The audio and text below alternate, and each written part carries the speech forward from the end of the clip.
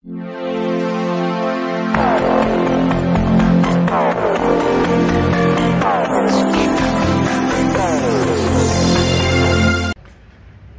mga gawiks, masayang hapon.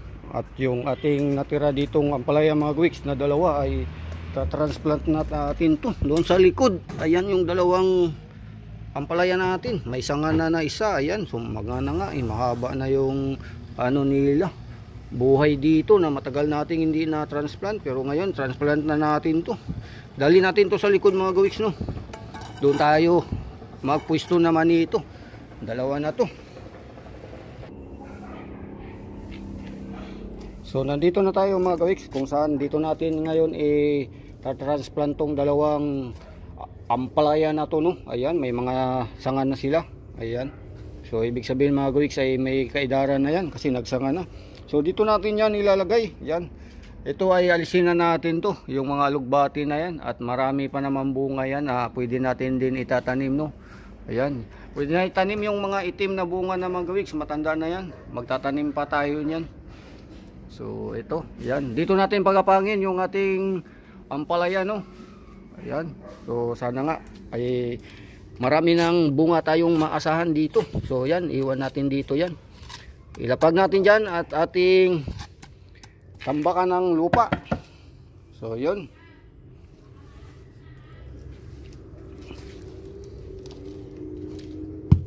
So ito mga gawik mukhang marami ng ano to ugat.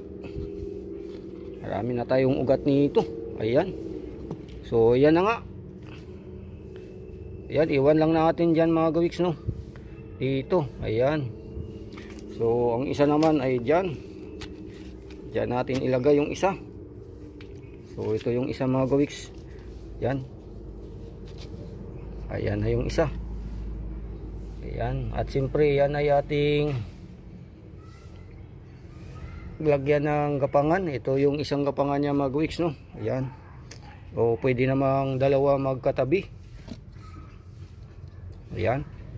So lagyan ko lang ng lupa yan mga weeks no? Lagyan natin ng lupa yan. Ito yung lupa dito. Kuha tayo ng lupa dito mga weeks ay yan yung ating decompose. Yan ilagay natin dyan. So ganun lang. Yan halo halong lupa to. Yan at diligan natin yan. So ayan na nga.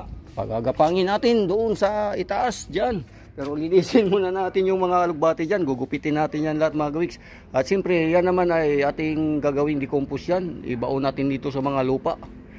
So okay na yan. Okay na yung isa. So isa naman. So yan. So yan mga gawiks. Okay na. At ngayon ay ating diligan. No? Basahin natin. Ayan.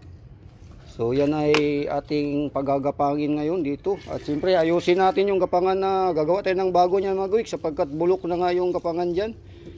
Yan. So yan naman guwik, santayin natin hanggang sa tayo ay makapag-harvest dyan sana ng maraming bunga. Okay. So yan mga guwik, harvest na naman tayo ng ampalaya at yun na nga, mayroon tayong pinagbigyan no. Ayan, dalawang piraso.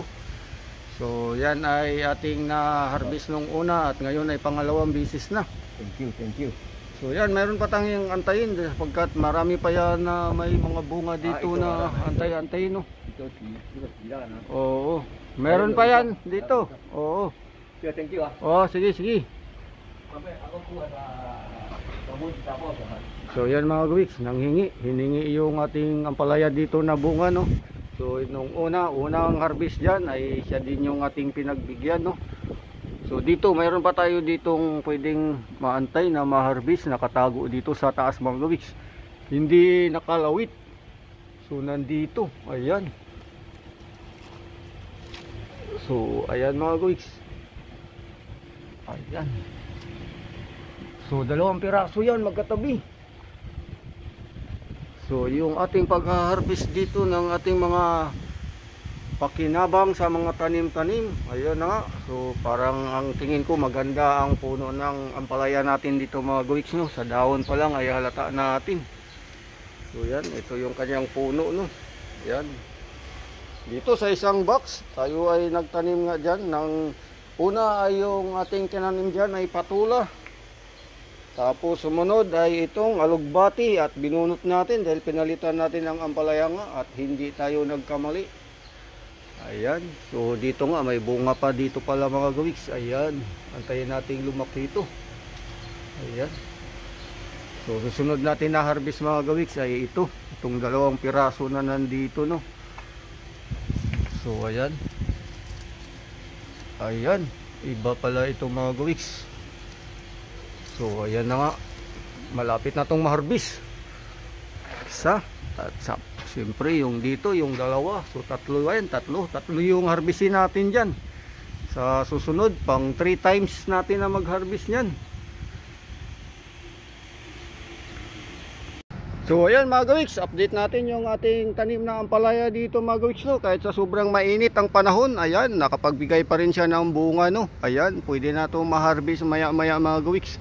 Yung kanyang mga bunga ditong nakalaylay no.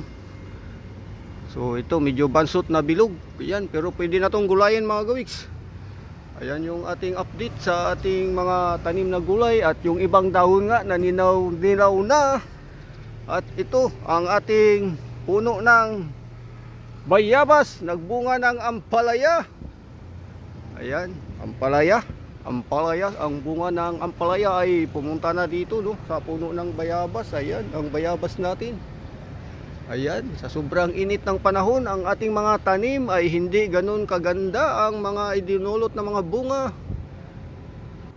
Pero wag tayong sumuko, tanim-tanim pa rin habang may time o mayroon tayong pagkakaabalahan sa pagdidilig.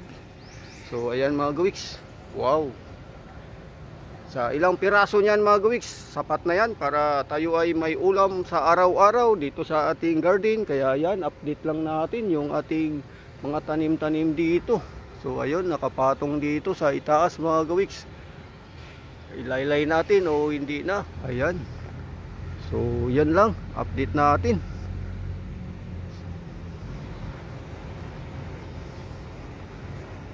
Wow, nanilaw. Nanilaw mga gawiks, yung bunga, ayan.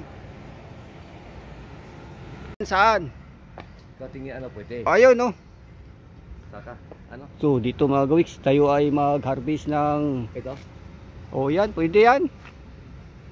Gulayin na ampalaya. So, ayan. At dito, ayun. Ito? O, yan. Yan, pwede yan. Okay, pwede na yun. Oo, doon sa may bayabas.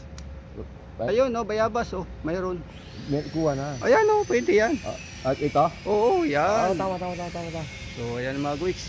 Oh, thank you, thank you. Thank Salamat. you, thank you. Salamat daw. Yung mga napitas na mga ampalaya natin dito na tanim. Yun na nga. Ayan, may naiwan pa. Ayan. So yun lang ang ating pakinabang sa mga tanim-tanim sa kapaligiran. Pag pwede ng harvestin, harvest na at gugulayin para mapakinabangan.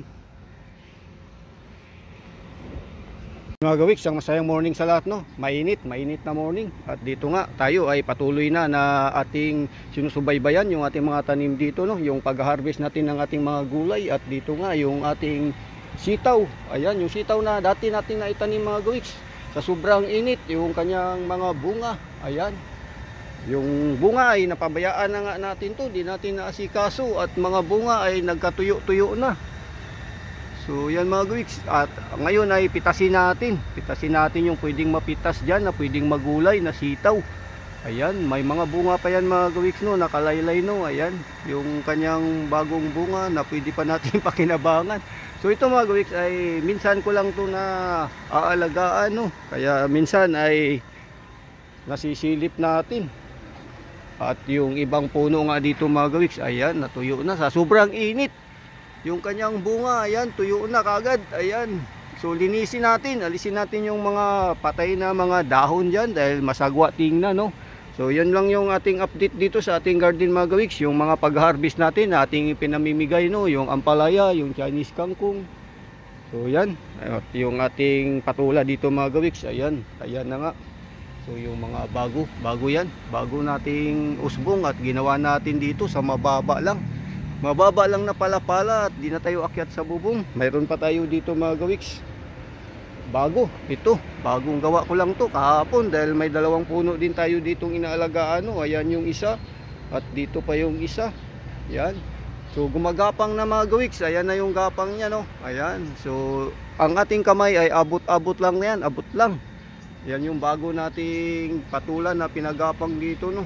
So yun lang mga gawiks at linisin ko yung aking sitaw doon na hindi ko na naalagaan. So ito yung mga bunga mga gawiks na natuyo no. Gugupitin natin. Yan. Ayan, mga tuyo na mga bunga na hindi natin napitas. So, yung kanyang pagkatuyo mga gawiks ay bata pa. Kasi yung bunga niya, yung bunga sa loob, hindi pa ganun katanda. So, dahil sa sobrang mainit, ayan no, maliit pa lang.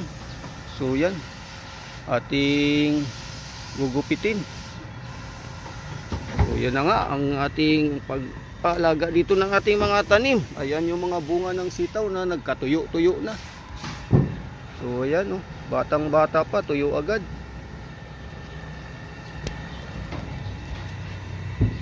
Natutuyo, hindi na agad na harvest. Kasi nga, hindi natin na alagaan to. Sana ay pagka pwede nang ma-harvest ay kinuha na natin agad. So yan mga, mga gawiks nyo.